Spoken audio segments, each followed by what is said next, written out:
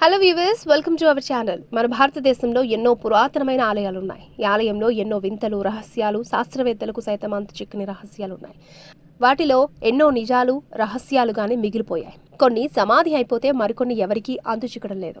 ప్రపంచంలోనే కాదు మన భారతదేశంలో కూడా చాలా పురాతనమైన దేవాలయాల గురించి కొన్ని నిజాలు రహస్యాలుగానే మిగిలిపోయాయి. అసలు విషయంలోకి వెళ్తే భారతదేశంలో అనేక దేవాలయాలు ఉన్నాయి మరియు ప్రతి ఆలయానికి ఒక ప్రత్యేకత ఉంటుంది. కొన్ని దేవాలయాల గురించి నిజాలు మనకు తెలుస్తాయి. అలాగే కొన్ని దేవాలయాల గురించి నిజాలు రహస్యాలుగానే ఉంటాయి. రాజరాజేశ్వరి బాలా త్రిపుర సుందరి దేవాలయం బీహార్లో నాలుగు వందల ఏళ్ళ కిందట నిర్మించారు.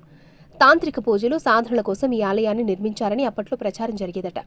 ఇక అసలు విషయం ఏంటంటే ఈ ఆలయంలో అర్ధరాత్రి వేళ మాటలు వినిపిస్తాయని అక్కడి ప్రజలు చెప్తున్నారు. ఎంతో మంది ప్రజలు శాస్త్రవేత్తలు ఈ విషయం గురించి తెలుసుకోవాలని అనుకున్నారని వారికి అది ఒక రహస్యంగానే మిగిలిందని చెప్తూ ఉంటారు. ఆఖరికి గుడి పూజారులు కూడా ఈ రహస్యాన్ని కనిపెట్టలేకపోయారు.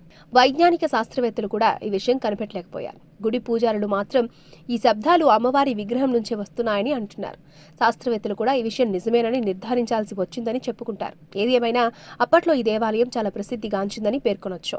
సైన్స్ ఎంతగా అభివృద్ధి చెందుతున్నా ఇలాంటి కొన్ని రహస్యాలు అందుచిక్కడం లేదు.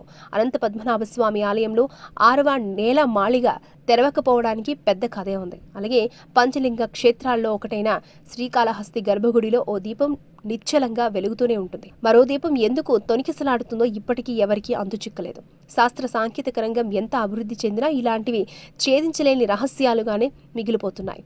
ఈ వీడియో మీకు నచ్చినట్లయితే లైక్ చేయండి షేర్ చేయండి అలాగే మా ఛానల్ని సబ్స్క్రైబ్ చేసుకోండి.